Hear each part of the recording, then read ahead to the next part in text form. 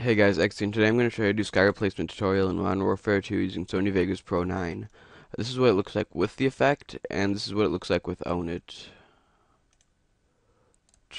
See, without, with. So pretty cool.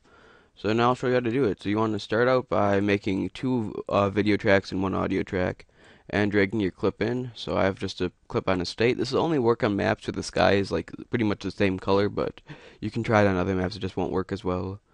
And then you're going to want to go to like Google Images or anywhere and find a picture of a sky. You can do like a normal sky. You can get like a stormy sky or something. Get some like cool black look or whatever.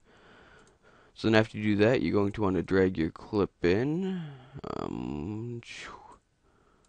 And if you look at the clip right now, you can see that it doesn't fill up the whole screen. So what you're going to want to do is go to Event Pan slash Crop, right click, and hit Match Output Aspect. And that'll stretch it to the right size. And then you'll just want to stretch the clip so it fits the track. Unsolo that. Alright.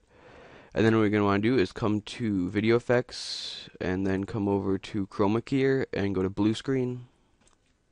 And then find this little uh, eyedropper tool thing, and pick the sky and then just mess with these settings until you get something that works.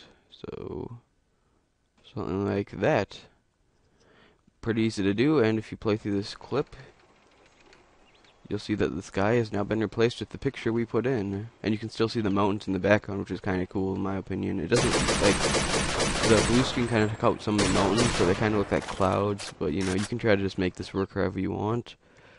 So pretty easy to do. Thanks for watching. If you have any comments, leave them below. Bye.